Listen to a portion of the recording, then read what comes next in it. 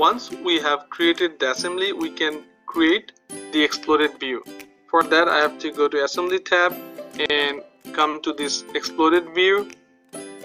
Once I select it asks for parts to be removed. I can follow the parts in sequential order. The lock has to come off first. So I'm selecting the direction that it has to go and then I'm pushing while I'm pressing my left button of my mouse and I let it go. Once I do that I say done. Now the pin has to come off. I select the pin and I select the direction. I'm dragging it to my right and I say yes. And now I am left with the pulley. It has to go up or down so I can put it down. And that's all the parts. And I say done. And it's ready.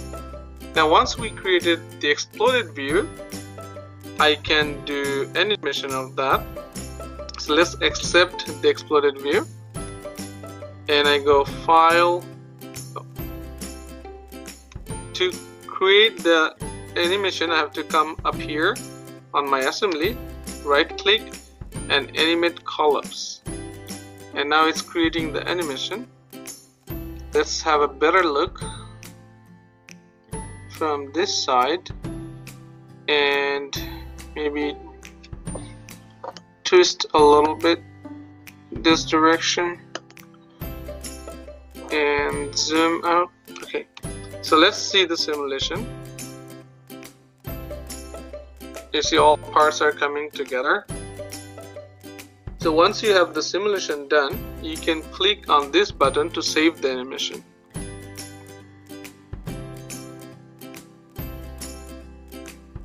You can also slow down or speed up. If I click this one, it will slow down the assembly parts by parts.